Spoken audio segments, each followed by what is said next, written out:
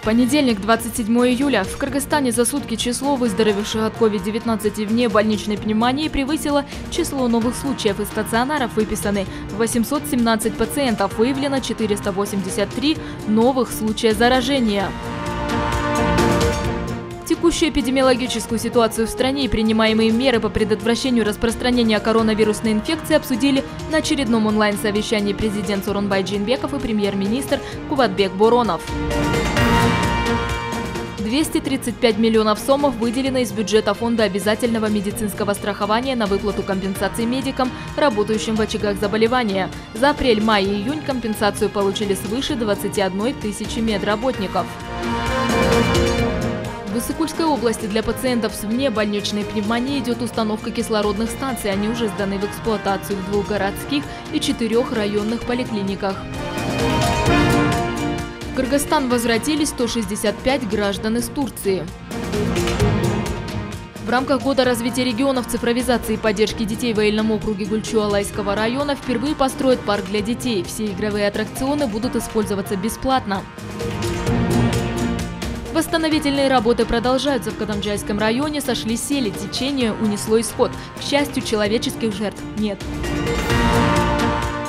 Вторник, 28 июля. За сутки от коронавируса и внебольничной пневмонии выздоровели вдвое больше граждан, чем заразились. Зарегистрировано чуть более 500 человек, а выздоровел 1091 пациент. В трех областях – Иссыкульской, Джалалабадской и Ожской – сохраняется сложная эпидситуация. Туда направлены средства и силы для стабилизации обстановки. Об этом на брифинге рассказал премьер Кубатбек Буронов. Совместная работа с распространением вируса. В Иссыкульскую область прибыла мобильная бригада российских специалистов. Они будут работать в четырех стационарах области. По Баткенской области подготовлены 215 мест для дневных стационаров. Они будут расположены в основном в образовательных учреждениях и готовы к работе и в холодное время года. Таким образом, местные власти готовятся к возможной второй волне заболевания. Увеличение посевов зерновых культур. По сравнению с прошлым годом в Кыргызстане увеличились площади посевов зерновых. В Таласе все чаще начали разводить кур сушек, используя новые методы. У таких предприятий прибыль куда выше, на продукцию спрос высокий. Этот продукт заполнил все рынки области. Среда, 29 июля. 1047 выздоровевших и 668 новых случаев заболевания. Вновь выписанных пациентов в два раза больше, чем заболевших. Правительство изучает причины заражения медиков коронавирусной инфекцией. По каждому случаю заражения врачей будет проведено расследование специальной комиссии Минздрава. Новая конкурсная система отбора кадров. Текущие вопросы и планы госкадровой службы на онлайн-совещании обсудили президент Сурунбай Джинбеков и исполняющий обязанности директора ведомства Бакытбек Саганбаев. Официальный сайт о ситуации с коронавирусом COVID-19 обновлен. Теперь туда добавлены ссылки, пройдя по которым можно узнать всю актуальную информацию о текущей ситуации с коронавирусом в Кыргызстане. Скоро откроют заброшенный перевал Тон одноименного района. Через этот перевал чебаны Турткульского, Кунчигышского, Тонского и Болот-Мамбетовского аильных округов будут перегонять скот на Джайлосы. На днях планируется увеличить количество чартерных рейсов из России в Кыргызстан. Ведутся и переговоры по возобновлению регулярных полетов. четверг, 30 июля. В Кыргызстане прошел День национального траура в память о гражданах, ставших жертвами пандемии коронавирусной инфекции. В мемориальном комплексе Атабиити прошли поминальные мероприятия в память о кыргызстанцах, ставших жертвами пандемии коронавирусной инфекции. Был прочитан Коран. В поминальных мероприятиях ко Дню национального траура приняли участие президент Сооронбай Жээнбеков, торага Жогорку Кенеша Дастан Джумабеков, премьер-министр Кубатбек Боронов, председатель Верховного суда Гульбара Калиева, начальник Генштаба Вооруженных сил Райимберди Дуйшенбиев и муфтий Духовного управления мусульман Кыргызстана Максат Токтомушев. При поддержке президента страны по линии фонда «Ассалам» в республику поступила гуманитарная помощь в виде 560 кислородных концентраторов.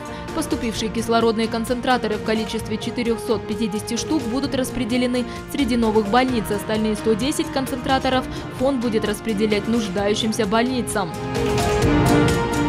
Пятница, 31 июля. Мусульмане Кыргызстана отметили священный праздник Курманайт. Праздничный намаз, который обычно проводился на площадях и в мечетях, в этот раз состоялся в онлайн-режиме.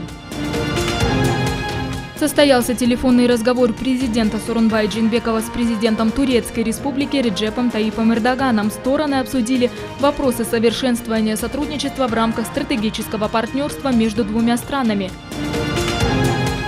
Из Екатеринбурга в Бишкек прибыл чартерный рейс уральских авиалиний, которым вернулись на родину 229 кыргызстанцев, включая детей. 184 наших соотечественников, включая детей, вернулись и из Новосибирска. Список пассажиров был сформирован в порядке очередности обращений граждан, нуждающихся в возвращении на родину. Также в Кыргызстан по маршруту Дубай-Бишкек благополучно вернулись 175 наших граждан, включая малолетних детей из Объединенных Арабских Эмиратов. В муниципальном районе Туран города Ош началось строительство детского сада на 120 мест. Это первый социальный объект в местности, который возводится впервые за 30 лет. Его сметная стоимость 26 миллионов сомов.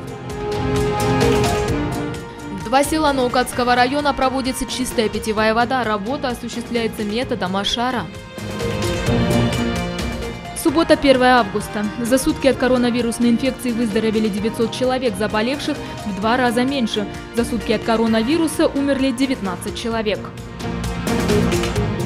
Президент Сурунбай Джинбеков дал традиционное интервью радиостанции Беренчи радио КТРК. Подсчитан ущерб, нанесенный стихией накануне. В Каракульджинском районе Ожской области в результате проливного дождя затопило дворы 16 домов. Работы по очистке продолжаются.